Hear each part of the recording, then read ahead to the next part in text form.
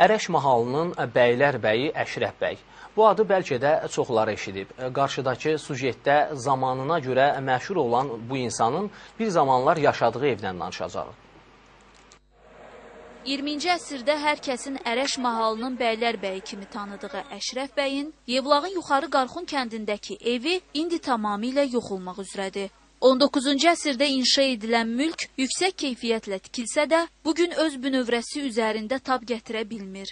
Qırmızı kərpiclə tikilən, divarının eni 1 metrə çatan evin bir hissəsi artıq uçub. Sakinlər bildirirlər ki, belə bir vəziyyətdə tarixi mülkün bərpasına və Əşrəf bəyə aid əşyaların toplanmasına ehtiyac var.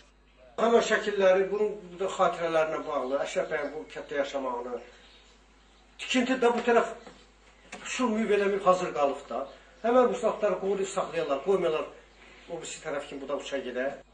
Yevlax şəhər mədəniyyət və turizm şöbəsinin baş məsləhətçisi Rafiq Məmmədov deyir ki, rayon ərazisindəki 7 mədəniyyət abidəsi dövlət qeydiyyatına götürülərək onlara inventar nömrəsi verilib. Əlavə olaraq növbəti 7 abidə isə dövlət mühafizəsinə götürülməsi üçün siyahıya alınıb. Bu abidələrin qorunması üçün təkliflər verilib. Bu siyahıda Əşrəf bəyin mülkü barədə konkret məlumat olmasa da, özü haqqında müəyyən bilgilər yer alıb bildiyimiz, topladığımız məlumatları o abidələr haqqında Nazirliyə də təqdim etmişik. O cümlədən biz Qarxunlu Əşrəf bəy, Ərəş mahalı bu barədə məlumatları da biz vermişik.